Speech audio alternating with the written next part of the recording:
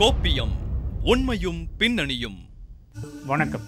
நம்ம சமுதாயத்தில் எத்தனை காலங்கள் ஆனாலும் சரி எந்த மாதிரியான கடுமையான சட்டங்கள் வந்தாலும் சரி இந்த ரவுடிகளையும் கூலிப்படையினரையும் ஒழிக்கவே முடியாது அப்படிங்கிறத நம்ம சுற்றி நடக்கக்கூடிய குற்றச்சம்பவங்களே சொல்லுது. அதே நேரத்தில் அவங்கள வந்து முழுசாக ஒழிக்க முடியல அப்படின்னாலும் அவங்கள கட்டுப்படுத்த வேண்டியது காவல்துறையின் கடமை அப்படிங்கிறத உணர்த்தும் விதமாக நடந்த என்கவுண்டர் சம்பவங்களை பற்றியும் வாழ்க்கையில் ஒழுக்கத்தை கடைபிடிக்காமல் தவறான உறவுகளை தேடிச் சென்றால் ஏற்படக்கூடிய விளைவுகளை பற்றியும் தான் இன்றைய கோப்பியம் நிகழ்ச்சியில் பார்க்க போகிறோம்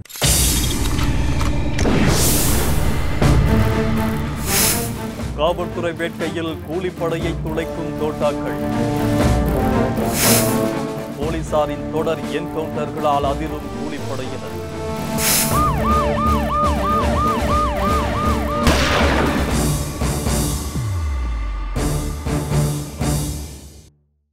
சென்னைக்கு அருகே திருவள்ளூர் மாவட்டம். சோழவரம் பக்கத்தில் காவல்துறையினர் நடத்தின என்கவுண்டரில் ரவுடிகளான முத்து சரவணன் சண்டே சதீஷ் இந்த ரெண்டு பேரும் கொல்லப்பட்டதோட செங்கல்பட்டுலேயும் நடந்த போலீசாரின் அதிரடியான என்கவுண்டர் சம்பவத்தின் உண்மை என்ன அதனுடைய பின்னணி என்னங்கிறத இப்போ பார்க்கலாம். தமிழ்நாட்டில் கடந்த சில மாதங்களாகவே தொடர் என்கவுண்டர்கள் நடைபெற்று வரும் நிலையில் சமீபமாக கடந்த ஆகஸ்ட் மாதம் ஒன்றாம் தேதி குடுபஞ்சேரி அருகில் காவல்துறை துப்பாக்கிச்சூடு நடத்தியதில் சோட்டா வினோத் ரமேஷ் என்ற இரு ரவுடிகள் கொல்லப்பட்டனர். செப்டம்பர் மாதத்திலேயே காஞ்சிபுரம் மாவட்டம் ஸ்ரீபெரும்புதூர் அருகே நடைபெற்ற என்கவுண்டரில் பிரபல ரவுடி விஸ்வா என்பவர் சுட்டுக் கொல்லப்பட்டார். அதன் தாக்கம் குறைவதற்குள்ளாகவே கடந்த இரண்டு நாட்களுக்கு முன்பு மீண்டும் வெடித்தது போலீசாரின் துப்பாக்கி. கடந்த வியாழக்கிழமை அதிகாலை திருவள்ளூர் மாவட்டம் சோழவரம் அருகே புதூர் மரப்பேடு பகுதியில் துப்பாக்கி சப்தத்தை கேட்டு திடீர் பரபரப்பு ஏற்பட்டது. அங்கு போலீசார் குவிக்கப்பட்டிருந்தனர். ஏதோ ஒரு அசம்பாவிதம் நடந்ததற்கான அறிகுறிகள் சிதறி கிடந்தன. மேலும் அங்கே இரண்டு வாலிபர் சுடப்பட்டு இரத்த வெள்ளத்தில் தரையில் கிடந்தனர். அதோடு கூட மூன்று பேர் போலீசார் கையில் இரத்த காயங்களுடன் இருந்தது அங்கு என்கவுண்டர் நடந்திருப்பதை உணர்த்தியது.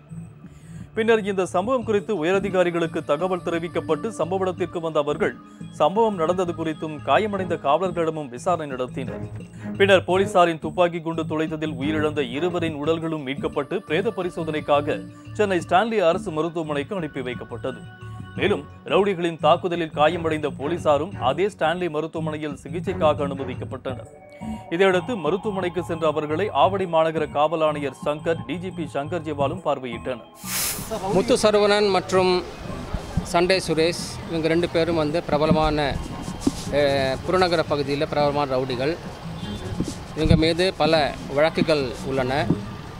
இவங்களுடைய முக்கியமான தொழிலே வந்து பொதுமக்களை மிரட்டி அங்கே இருக்கக்கூடிய வியாபாரிகள் தொழிலதிபர்கள் இவங்கெல்லாம் மிரட்டி பணம் வாங்கிறது.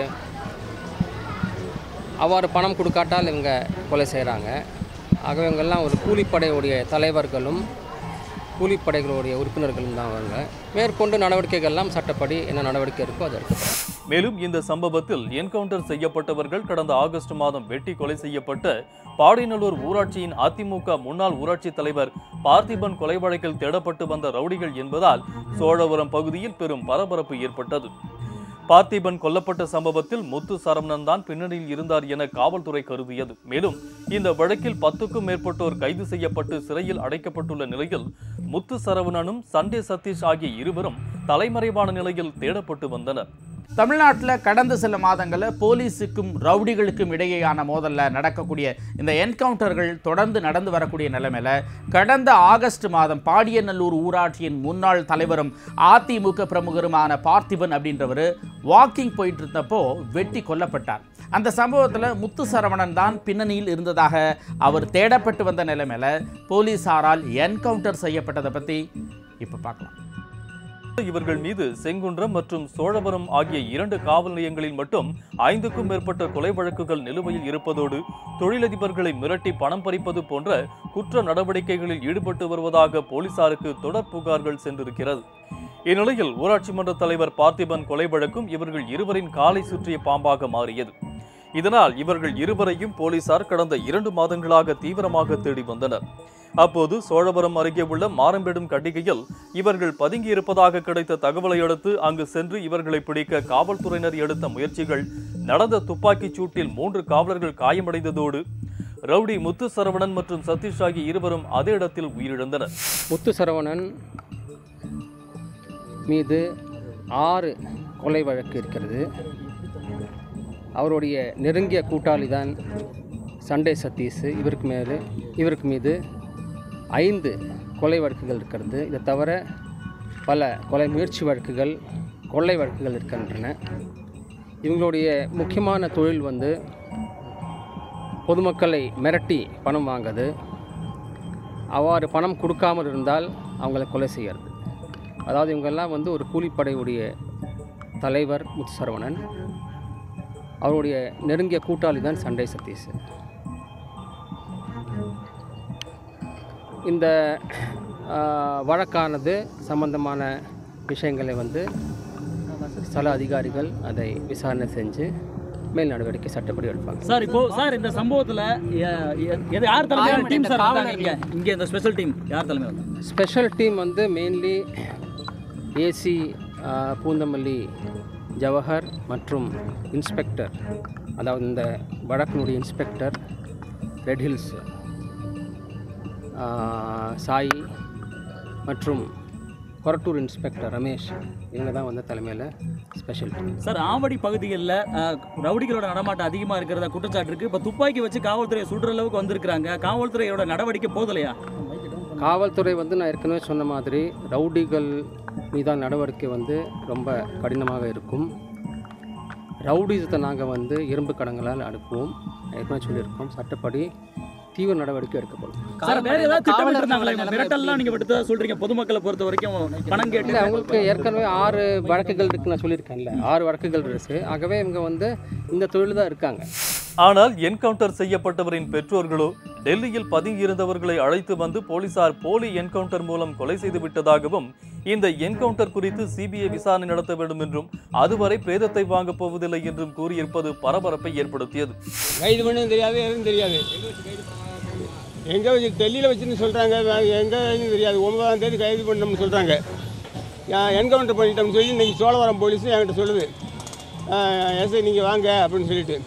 ஆனால் என் ப- என் பையன் பாடியை நான் வாங்க மாட்டேன். சிபிஐ விசாரணை நடந்தால் தான் வாங்க முடியும்.